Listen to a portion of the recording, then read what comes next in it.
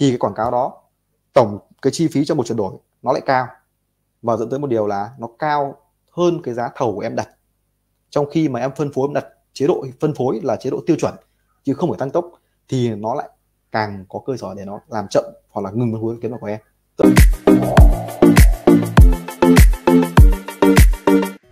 Giờ cho đến tháng 7 rồi. Ok rồi. Câu tiếp theo đây là câu ờ, uh, CRV thấp hơn 1% quảng cáo sẽ ngưng nhận phân phối đúng không anh? Nếu đúng thì TikTok sẽ xét trong vòng bao nhiêu ngày Ok, thật ra thì cái CVR là tỷ lệ chuyển đổi của em thấp hơn một phần trăm thì nó còn tùy thuộc vào nhiều nhiều yếu tố khác nữa. Không hẳn là cứ thấp hơn một phần trăm. Anh nói đầu tiên nhé, một phần trăm là thấp, đúng không? Thường nó sẽ là ba phần trăm là đẹp. Anh em làm uh, thường sản phẩm đúng nhu cầu, giá bán phù hợp, đấy, nội dung hấp dẫn thì thường tỷ lệ là tầm ba phần trăm năm phần trăm.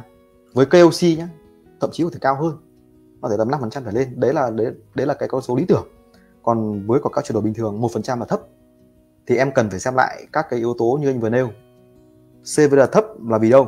Là họ đã ghé vào rồi nhé. Nhưng mà họ không đặt hàng. Họ có nhu cầu không đặt hàng. Vì giá bán vì cơ chế bán hàng chính sách bán hàng có đổi trả không có cho kiểm tra hàng trước khi thanh toán không. Rồi thì kênh có uy tín không trang đích của em có uy tín hay không.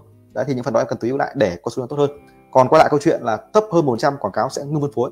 Không không không không hẳn là ngưng em nhé. Tỷ lệ là quảng cáo thấp 100 anh cá nhân anh chạy nhiều khi cũng nó được tầm 0,9 phần trăm. Có nhưng vẫn cắn rất là đẹp cắn rất là tốt. Đấy.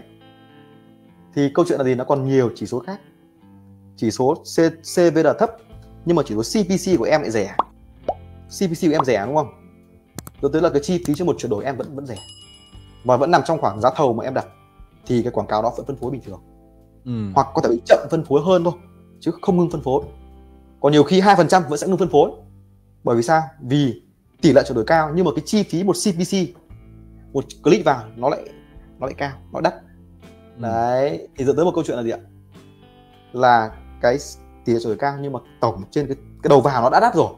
Đấy thì cái tỷ lệ cao nó vẫn đắt.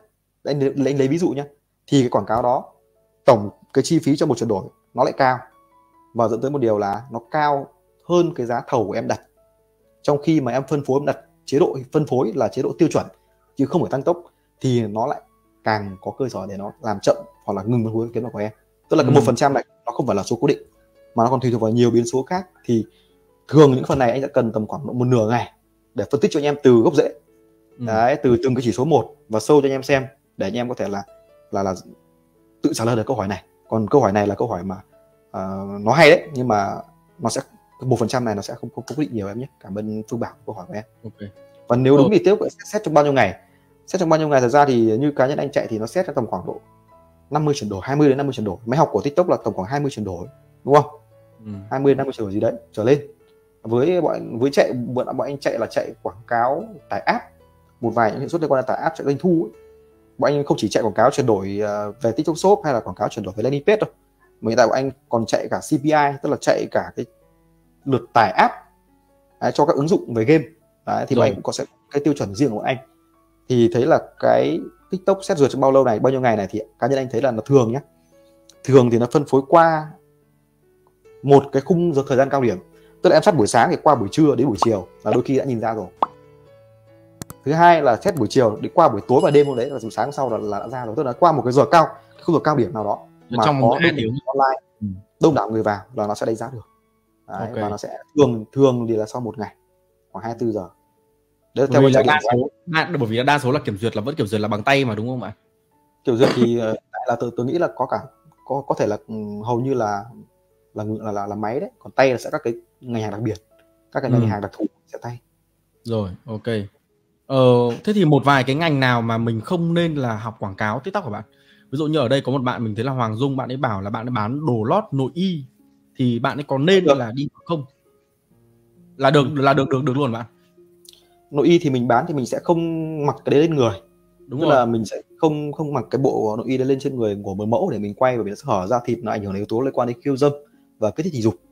Và anh em sẽ cần đặt nó lên một cái đề co đấy được cái không gian bàn à, biển bãi biển hoặc là cái gì đấy hoặc là những cái gì mà nó liên quan đến phù hợp như là cái không này thì nó lại phải phù hợp với cả là cái trải nghiệm của người xem cơ ví dụ như cùng một cái phông xanh mà để lên con bikini đôi khi là nó làm cho người ta hơi bị tuột mút đúng không ừ. thế thì, thì cái, cái đối với cả thì ngành bikini ờ, đối với cả ngành bikini thì mình lại phải tìm cái cách mà làm sao mà làm được một cái dạng mà nội dung mà nó thân thiện với cả người xem đúng ừ. rồi mà nó không vi phạm được cái cơ chế liên quan đến nội dung của tiktok ok Về đã hiểu bạn ừ. thì um, cá nhân uh, bọn tớ chạy ngày xưa cũng support nhiều anh chị ấy là các bạn ấy, các anh chị ấy chạy là những sản phẩm đồ lót cho nam ngày bán là mấy nghìn đơn bán mấy nghìn đơn và cứ cầm thôi tức là cứ cầm đứng cầm quay video này giới thiệu là chất liệu rồi thì thông thoáng họ kia là bán một ngày là mấy nghìn mấy nghìn đơn Ừ. Ừ hứ. Ok, đã hiểu. Thank you bạn. Rồi,